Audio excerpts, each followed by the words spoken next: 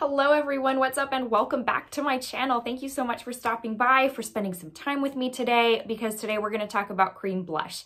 I love a good cream blush. I actually think at this point, I prefer cream blush over powder. Never thought I would say that in a million years because a few years ago, that didn't tend to be the case. I opted only for powder and I just had this dislike for cream blushes, but you know, things change, our tastes change. So that being said, I've got quite a few cream blushes in my collection and have added even a few more with the Sephora sale. So at this point in time, it's totally um, time to do a cream blush ranking. So if you're interested in seeing not only what cream blushes I have in my collection, but also how I rank them, how they work for me and why, then just keep on watching.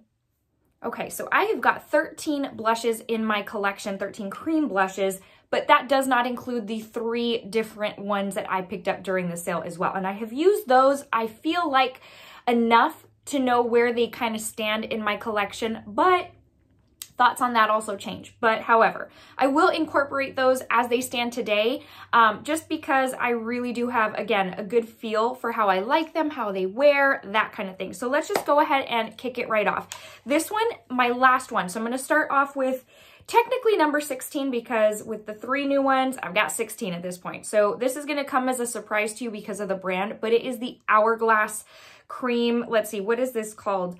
The Hourglass Vanish Cream Blush Stick. And this particular shade is in the shade Sacred. This formula I just can't get behind and I have used this all of two times for the price point. Oh my goodness.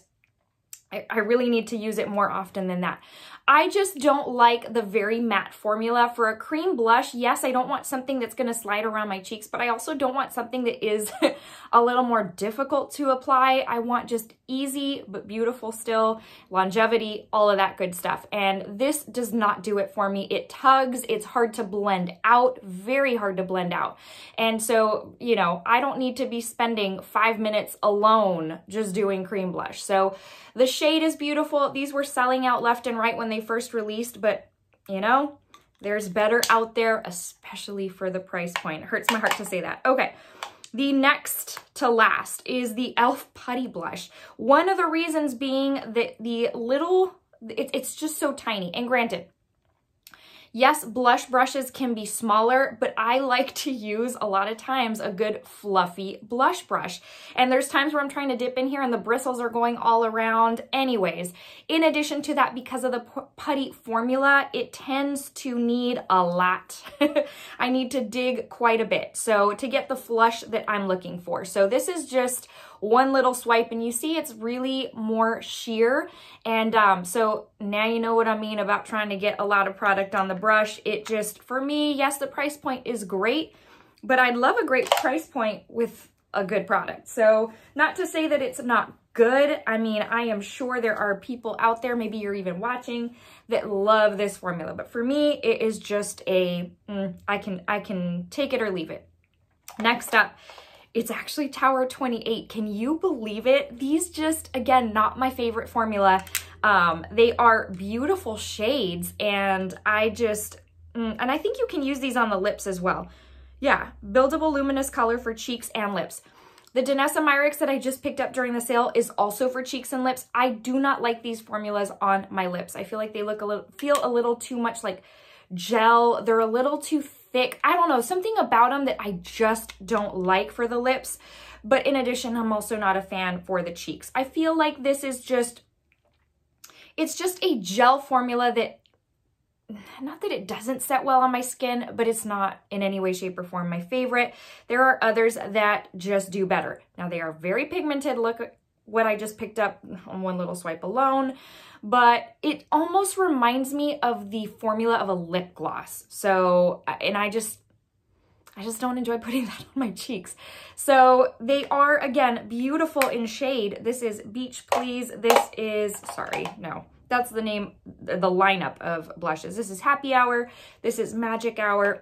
Magic Hour out of the two is the one I like more, but I just, again, the formula, not my, not my cup of tea. And I have used those so sparingly that anyways. So on that same note, next up are the Milani Cheek Kiss. I loved these when they first came out, and honestly, that's why I have three.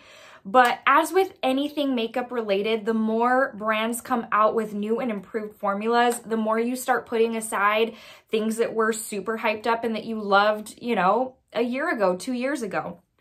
And that's the case with these. It's a great formula, but it almost kind of uh, goes down the path of the Tower 28. They are more of a gel-based consistency. They are beautiful. They obviously are very shiny and glowy because of that gel formulation. But again, just I feel like in my mind, I have made these out to be kind of like a lip gloss type of formula and I just don't reach for them. So the price point is great. The color selection is also wonderful. Um, these wear very nicely, but for me, again, this gel formula is something that I just don't enjoy anymore. And so that is, that's that. So moving on. Okay, another gel formula, though I, out of all of the gel formulas that I've just showed you, I feel like this is the one I like best but it ranks next and it is the Rare Beauty, what is this? Melting Blush, Nearly Rose. I feel like these didn't get as much um, love as her originals for good reason. I think it's because of that gel-based formula um, but this is a thinner type of gel formula, so, or balmy type of formula, if you will. Um, but it goes on obviously very sheer, but Rare Beauty is known to be more the minimalistic type of makeup look. And, um, and so I see what she was going for. And I love the Rare Beauty um, blushes in the, the little tube, for lack of a better word. Um, and so I knew I had to give this one a try. It's just one that doesn't get reached for hardly at all. This one is in the shade, again, Nearly Rose. And uh, again, I've used it maybe three times. So I love the little component though. This is so cute. It reminds me of just a pretty pink candy. Um, but yeah, that's that I could take or leave. Okay, next up is actually very surprising that it's not higher on the list. But again, these were, you know, Fenty Beauty, she has like navigated uncharted waters, I feel like. And so when she came out with these, everybody was on this bandwagon. And so I remember everyone was complaining about, oops, as I drop one, how small they are. But listen, I have three and I, I will never go through one in its entirety. Now, these are, so it's the Cheeks Out Freestyle Cream Blush. Um, these are almost like a hybrid of a cream gel type of formula. So you've got a little bit of both worlds there and they are lovely. Um, but I just, again, I don't reach for them. There are other formulas I enjoy more. These do last on my skin. They wear very, very nicely. There, I mean, there's a reason I have three. I remember this Fuego Flush was the one everybody was after because of its unique shade. And, um, but I just, again, I prefer, I feel like now a, and not 100% of the time, but I prefer for most days a very creamy type of formula.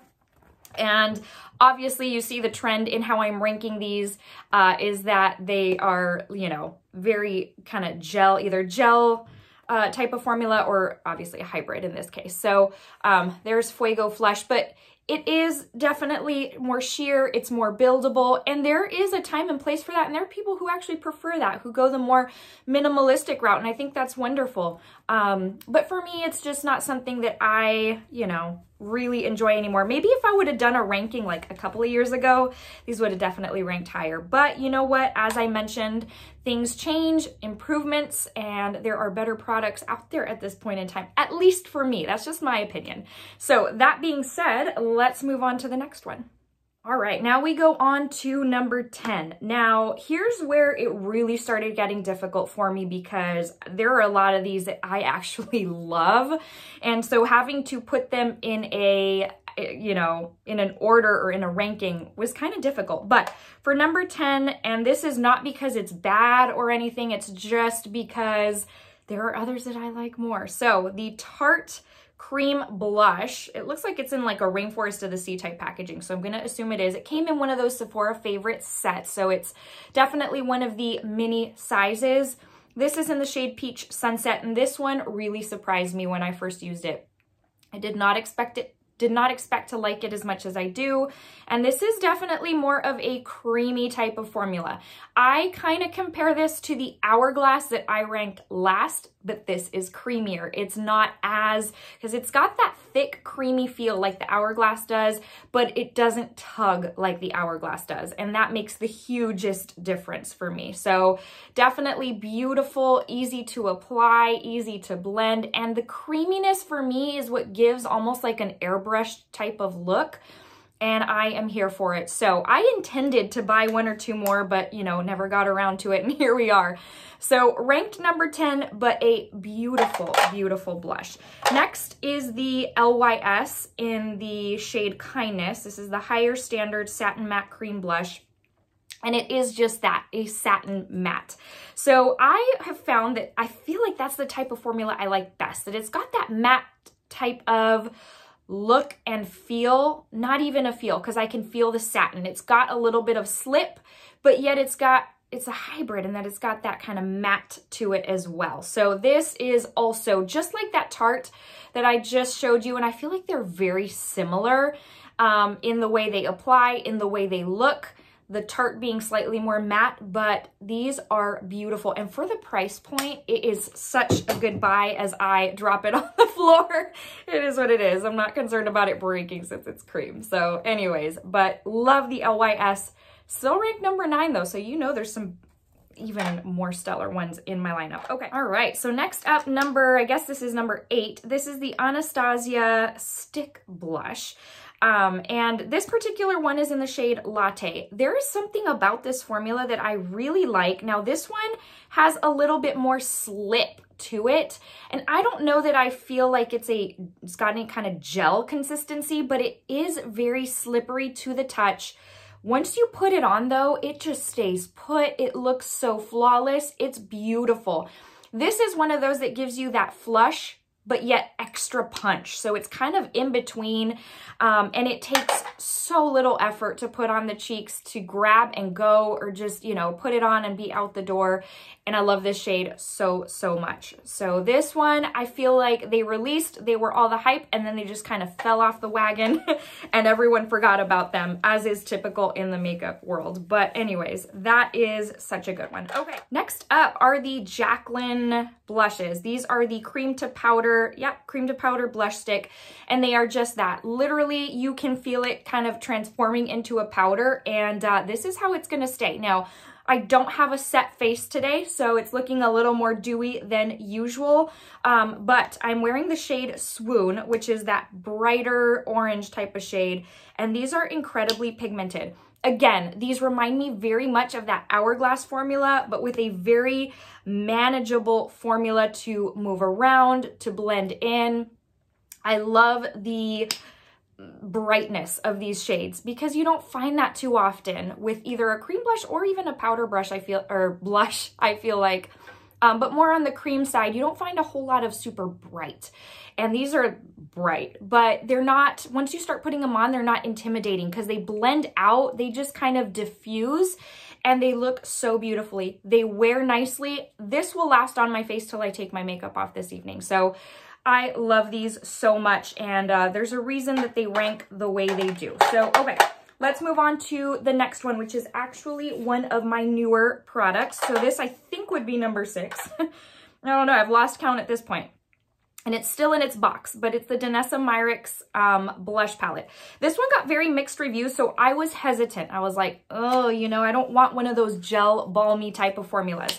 And in a way, it is that. So uh, I'm almost kind of contradicting myself in that, um, you know, those are my least favorite, yet I really like this but I feel like I like this enough to where it does rank higher. It doesn't disrupt my powder if I put it on over powder. And the thing is also because of the gel-based formula, it's not higher on my list. So it definitely, there is a beauty to these shades that just goes so nicely on the skin that for whatever reason, even though it is a more balmy gel consistency or formula, I like them more than the ones I ranked uh, towards the end. I also like that it's a one-stop I've got everything in here, so if I wanted to travel with it, I could. I did try this on the lips, but again, as in going back to that whole conversation. I don't like that kind of, I don't like this kind of formula on my lips. It's like too thick. So definitely love this one. I think this is number six. I don't know. I could be wrong at this point based on losing track. But it definitely ranks so much higher than the gel formulas I ranked at the end. So I actually very much like that palette and I am happy that I picked it up during the sale. Okay. All right, you guys, number five. Let's move into number five, which is the Makeup by Mario um, Soft Pop Blush Sticks in Earthy Pink. Again, with this one, oh, it's, I guess I smushed it at the top. Um, this is one I had completely planned to buy more of. They kept on selling out and then I forgot about them. But I feel like this man can do no wrong. This is such an amazing formula. It is does have a little bit of that gel consistency or balmy consistency, but I feel like the creaminess aspect of it outweighs the gel. It goes on like a dream. It is so beautiful. If you overdo it, it's so easy to blend out. It's so easy to diffuse and the shades are just stunning. This particular one, I every time I put it on, no matter what my eye look, it always goes. It always just pairs well. It's it's beautiful. Like I said, I feel like the man can do no wrong.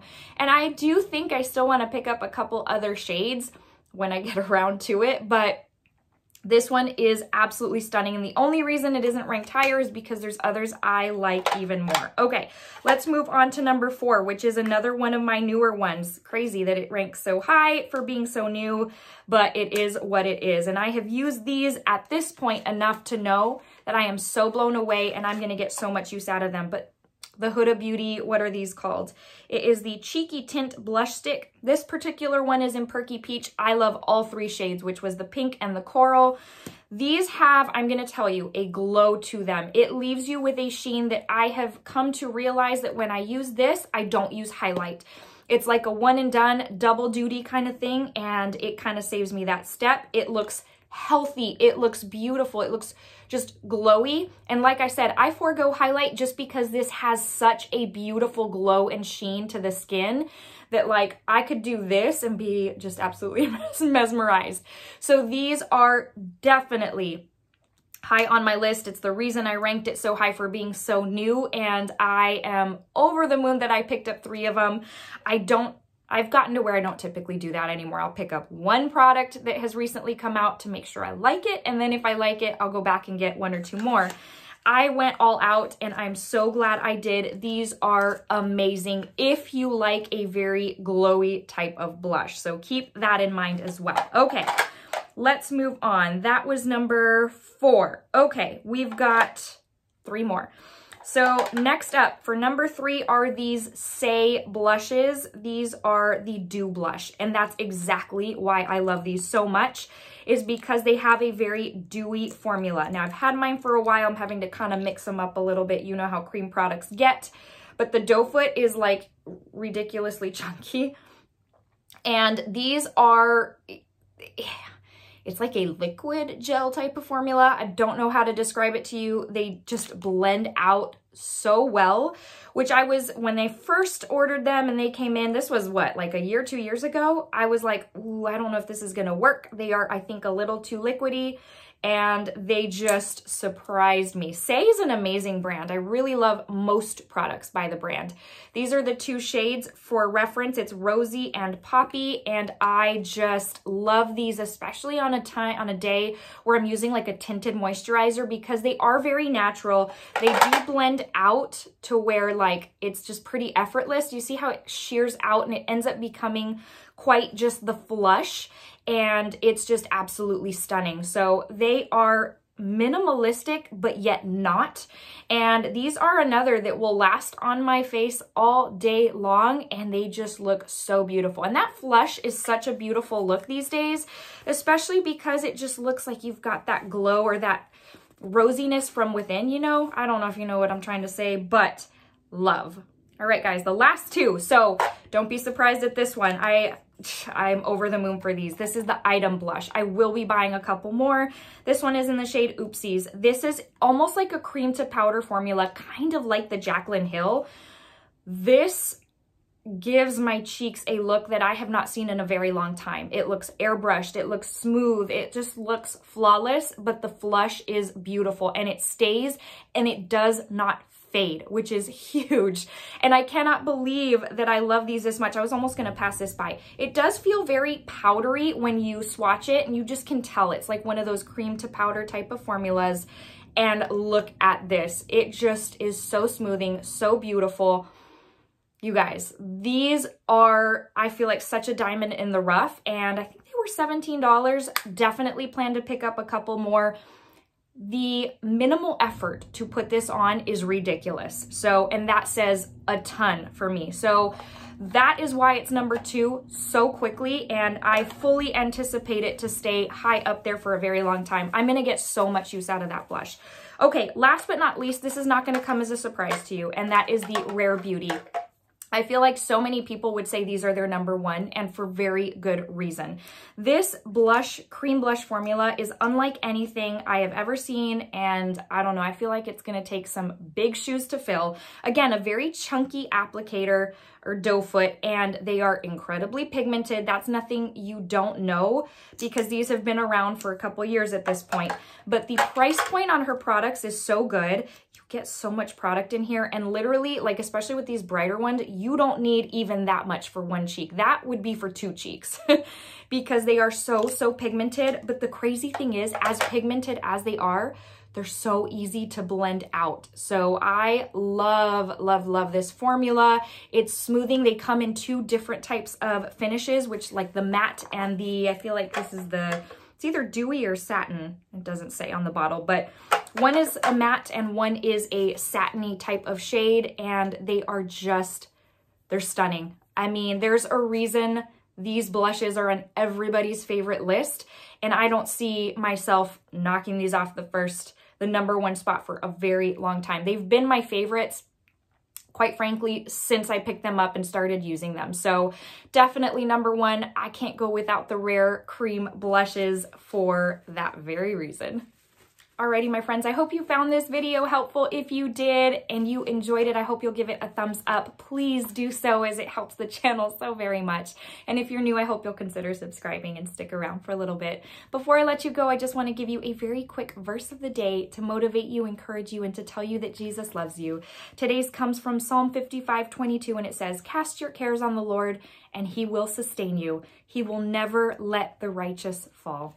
If you are going through hard times, you need someone to walk with you, you need someone to sustain you, turn no nowhere else but Jesus. He's the one who is your only hope. He's the one who can help you, who can guide you. I'm just, I, this is not forcing it on you. It's just letting you know that a life with him for me has been the absolute most wonderful thing of my life.